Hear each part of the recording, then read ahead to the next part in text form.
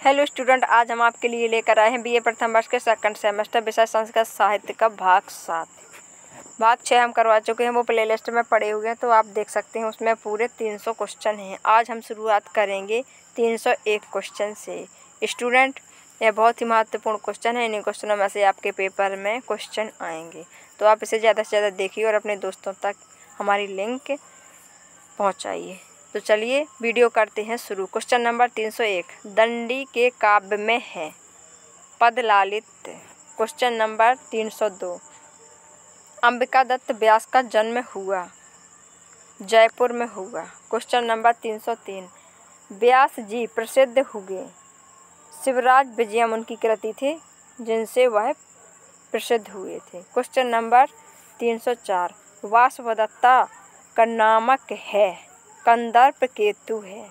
Question number तीन सौ पाँच। सुबंधु की काव्य शैली है गौड़ी। क्वेश्चन नंबर तीन सौ छः। वासवदत्ता एक है। कथा है वासवदत्ता एक। क्वेश्चन नंबर तीन सौ सात। आचार्य विश्वनाथ की कृति है। साहित्य दर्पण विश्वनाथ जी की कृति है। क्वेश्चन नंबर तीन सौ आठ। आचार्य विश्वनाथ का संप्रदाय था। वैष्णव संप्रदाय था। क्वेश्चन नंबर तीन सौ नौ। आचार्य विश्वनाथ के पुत्र का नाम था अनंत दास। क्वेश्चन नंबर तीन सौ दस। नरसिंह काव्य के रचयिता थे विश्वनाथ। क्वेश्चन नंबर तीन सौ ग्यारह। लक्ष्मी का उपदेश वर्णित है सुकनाशोपदेश में। क्वेश्चन नंबर तीन सौ बारह। संस्कृत गद्य साहित्य के भेद हैं। दो भेद हैं। क्वेश्चन नंबर तीन सौ तेरह। कथा का स्वरूप होता है। कभी कल्पित स्वरूप होता है। का से कथा का से कभी कल्पित। आप इसे इस ट्रिक से याद रख लीजिए। क्वेश्चन नंबर तीन सौ चौदह। उच्छ्वास में नहीं वर्णित होती है। क्या नहीं वर्णित होती है? कथा नहीं। क्वेश्चन नंबर तीन सौ पंद्रह। वासवदत्ता के रचनाकार हैं सुबंधु। क्वेश्चन नंबर तीन सौ सोलह। नीति शास्त्र में निपुण था। चंद्रापीठ था नीति शास्त्र में निपुण। क्वेश्चन नंबर तीन सौ सत्रह। प्रभाकर वर्धन की माता का नाम था, यशोवती नाम था।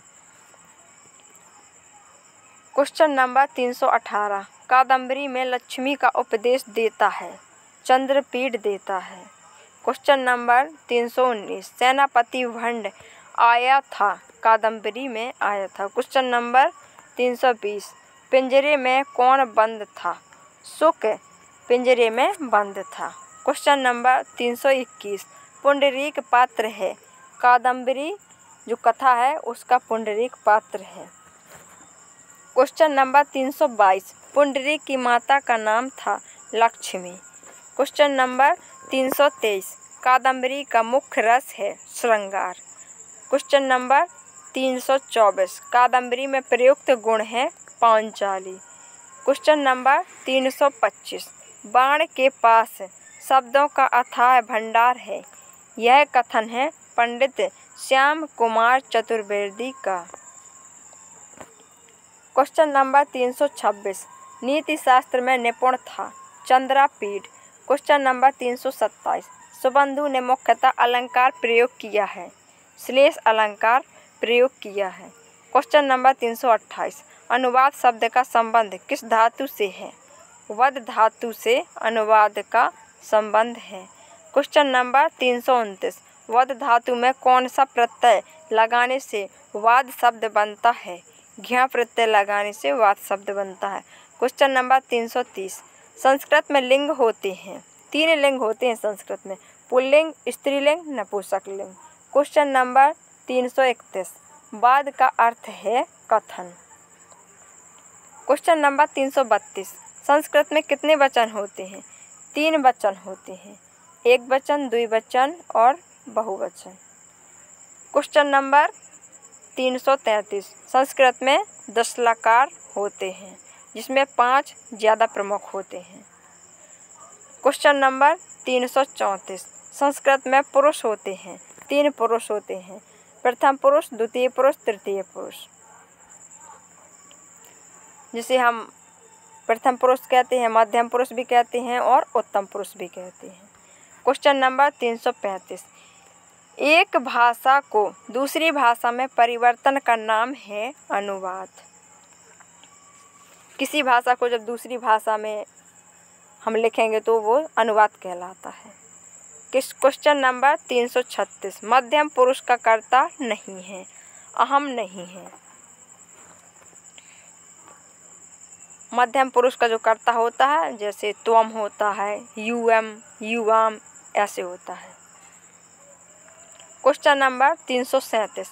कर्ता कारक का चिन्ह है ने। कर्ता का जो चिन्ह होता है, पहचान वो ने होता है। क्वेश्चन नंबर तीन सौ अड़तीस। संस्कृत में लकारों की संख्या दस है। यह हम ऊपर भी बता चुके हैं, रिपीट हो गया है क्वेश्चन। क्वेश्चन नंबर तीन सौ उनतालीस। क्रिया के संपादक को कहते हैं कर्ता। जो क्रिया को करता है, वही कर्ता कहलाता है। क्वेश्चन नंबर तीन सौ चालीस। रुच अर्थ की धातु के साथ किस विभक्ति का प्रयोग होता है? चतुर्थी विभक्ति का प्रयोग होता है रुच। क्वेश्चन नंबर तीन सौ इकतालीस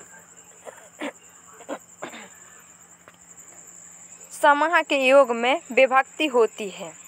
तृतीय विभक्ति होती है समाह के योग में क्वेश्चन नंबर तीन सौ बयालीस। सर्वतः के योग में कारक होता है कर्म कारक क्वेश्चन नंबर तीन सौ तैतालीस। संस्कृत में धातुओं के प्रकार हैं। परस्मपदी, आत्मैनपदी और उभयपदी। क्वेश्चन नंबर तीन सौ चवालीस। संस्कृत के वाच्य हैं। तीन वाच्य होते हैं संस्कृत में कर्तिवाच कर्मवाच और भाववाच कर्तिवाच में कर्ता प्रधान होता है कर्मवाच में कर्म प्रधान होता है और भाववाच में कर्म ही प्रधान होता है। क्वेश्चन नंबर तीन सौ पैंतालीस। निम्न में सप्तमी विभक्ति का प्रयोग है। गोसु। सप्तमी विभक्ति की प्रमुख पहचान होती है। लास्ट में सु आता है। क्वेश्चन नंबर तीन सौ छियालीस। हल संधि के प्रकार हैं। सात प्रकार हैं हल संधि के। क्वेश्चन नंबर तीन सौ सैंतालीस। ता का चा हो जाता है। सुचुक्त संधि में ता का चा हो जाता है। क्वेश्चन नंबर तीन सौ अड़तालीस। रामस सेते में संधि है, सुचुक्त संधि। क्वेश्चन नंबर तीन सौ उनचास। प्रश्न में प्रसधन नहा किस नियम से बनता है? स्वचत्व का अपवाद है।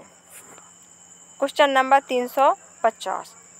रामाष्ठा रामाष्ठ में संधि है सुटुत्त संधि। स्टूडेंट ये हो गए हमारे पूरे 350 क्वेश्चन इसके आगे के क्वेश्चन हम आपको अगले भाग में देंगे। हमारा वीडियो आपको अच्छा लगे तो वीडियो को लाइक और चैनल को सब्सक्राइब ज़रूर करना। थैंक